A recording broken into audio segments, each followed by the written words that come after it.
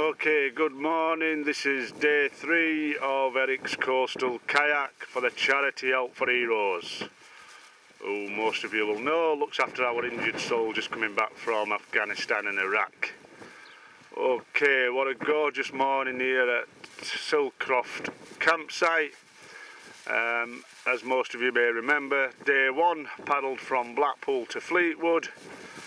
Um, wet, windy, dull day, um, only a short one though, 8 miles, so not too bad overall.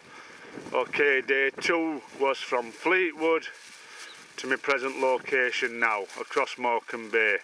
We had a good fresh northeasterly wind, so out in the middle of the bay we got conditions um, probably a good force four. We had sort of five foot, six foot swells, um, some biggish um, white caps um, but overall not too bad. Uh, once I got to Walney Island, obviously tucked in and got a bit of protection um, from the wind.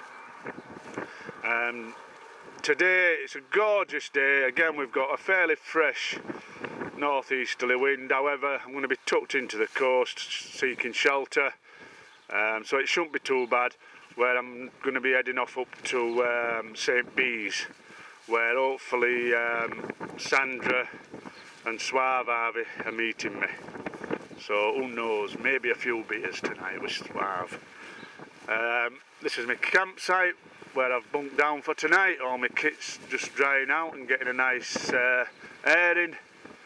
Not very uh, good from a Sarpageous point of view. I think I'm a bit scruffy and lost all my military skills, but hey, there we go. Um, so yeah, overall, not too bad. A lovely day for paddling. Um, and watch this space and I'll get back to you. Okay, bye bye.